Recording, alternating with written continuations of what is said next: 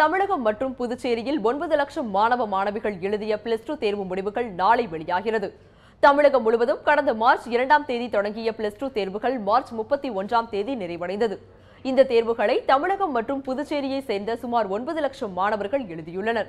இதையடுத்து விடைத்தாள்கள் மதிப்பீடு முடிவடைந்து மதிப்பெண்கள் பதிவு செய்யப்பட்டு அவற்றை அரசு தேர்வுத்துறை அதிகாரிகளும் பார்வையிட்டு முடித்துள்ளனர். இந்நிலையில் தமிழகம் மற்றும் புதுச்சேரியில் பிளஸ் டூ தேர்வு முடிவுகள் நாளை காலை பத்து மணியளவில் சென்னை டிபிஐ வளாகத்தில் வெளியிடப்படுகிறது. அது மட்டுமின்றி மாணவர்கள் அனைவரும் தங்கள் தேர்வு முடிவுகளை W W dot TN results dot NIC dot in உள்ளிட்ட மூன்று இணையதளங்களில் பார்க்கவும் வழிவகை செய்யப்பட்டுள்ளது. இதனைத் தொடர்ந்து ஒவ்வொரு மாவட்டத்திலும் உள்ள மாவட்ட ஆட்சியர் அலுவலகங்களிலும் தேர்வு முடிவுகளை தெரிந்து கொள்ள ஏற்பாடுகள் செய்யப்பட்டுள்ளன.